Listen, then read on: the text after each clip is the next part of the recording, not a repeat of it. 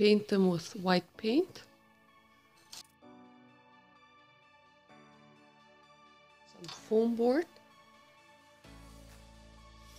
And we're going to cut it to one and three quarters of an inch.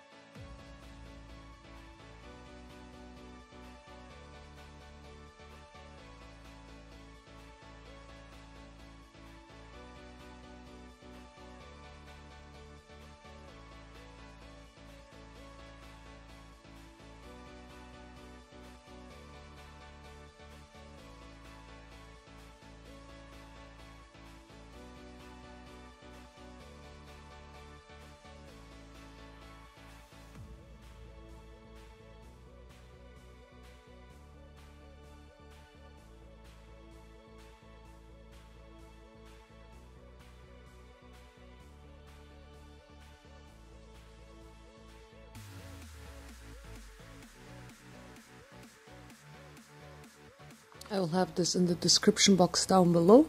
If you would like to print them out, you can. I printed it out on photo paper, but regular paper works fine too. I'm gonna start by cutting everything out with scissors.